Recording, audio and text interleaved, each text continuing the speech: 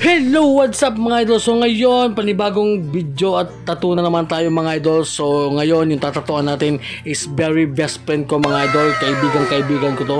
Si Idol... Awit mo na mga idol, nakalimutan ko yung pangalan. Tapos ko to eh, pero nak- nakalimutan ko talaga yung pangalan ng mga idol.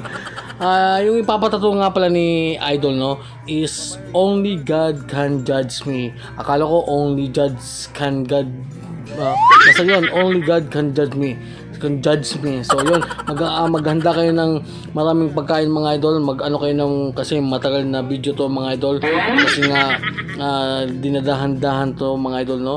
Kasi nga para maganda ang kakalabasan ng ating tattoo. So dyan, napakabilis pala mga idol.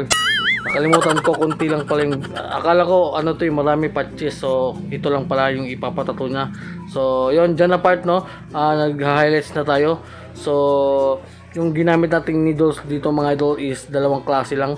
Uh, 5RL at saka 9M1. So grabe, napakalupit ni idol kayang-kaya niya kasi first time niya to no so nakalimutan ko lang talaga yung pangalan ni idol you know sa idol basta nakalimutan ko talaga.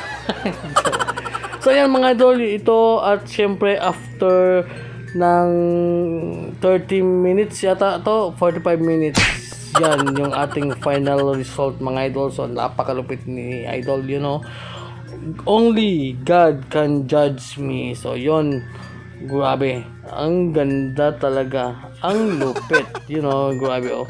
So, yung magbabalak magpatato mga idol, no? So, mag-PM na kayo. At syempre, don't forget to sh- ah, wag naman siya. Hindi naman kayo nag-share eh. Hindi rin kayo nag-comment. Ah, wala na. See, wala na. Wala. Wala na lang. Wala na talaga. Wala na talaga. Wala na. Wala.